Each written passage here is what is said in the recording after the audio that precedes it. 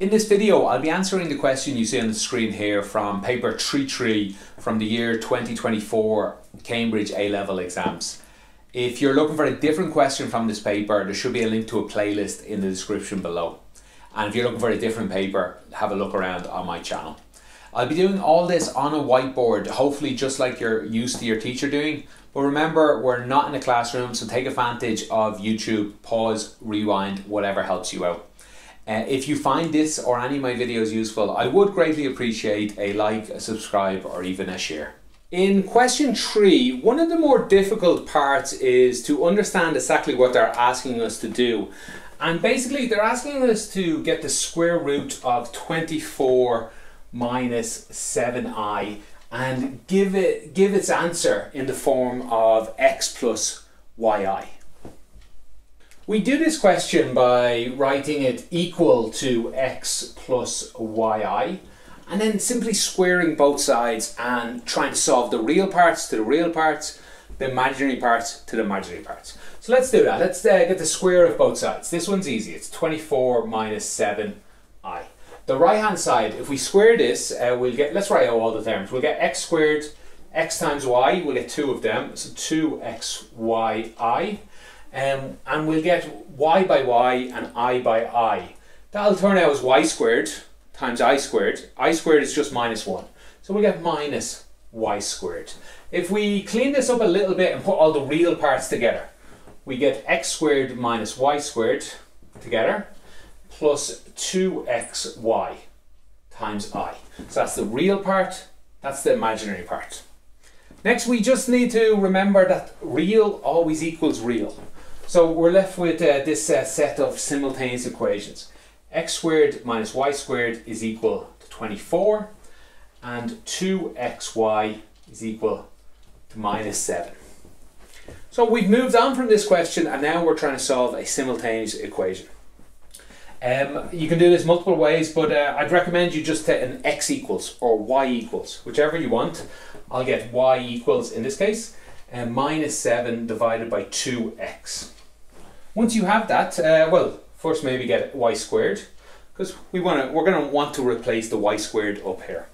So y squared is equal to minus 7 squared is 49 over 4x squared. Let's write this first term, but uh, putting in this y squared now. We get x squared minus, uh, 49 over 4x squared is equal to 24. Okay, what are we? What has the question moved on to now? We're away from simultaneous equation. We're now onto a quadratic, even though it doesn't look like it quite yet. Um, we, we need to make this look like a quadratic. If we multiply everybody by this bottom row, we get uh, 4 times x to the power 4 minus 49 is equal, 4 24s are uh, 96, uh, we get 96x squared. Um, still not quite quadratic. Let's rearrange everything. Everything on the left.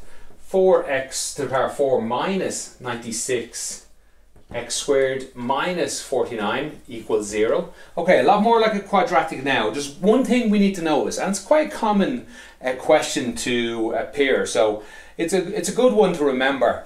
Um, we can set we can set x to the power 4 as x to the power 2 squared. 4 times that minus 96 times x squared minus 49 equals 0. So look what we have here. We have x squared squared, x squared, and no x squared. That's a quadratic. Something squared, something to the power of 1, and something to the power of 0. Really, that's what a quadratic is.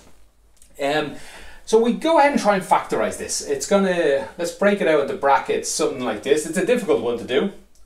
Remember, you can always uh, use the minus b formula to factorize something or to solve a quadratic. Um, this one is a little easier than that, but it, it's still, lots of people have trouble with factorizing ones, especially ones like this, because we have multiple ways to get 4x squared. We could have 2x squared by 2x squared. We could have 4x squared by 1x squared. Well, okay, only those two. And the same with 49. We could get um, 49 times 1 or 7 times 7 to get there. So combining them, what can get you to 96?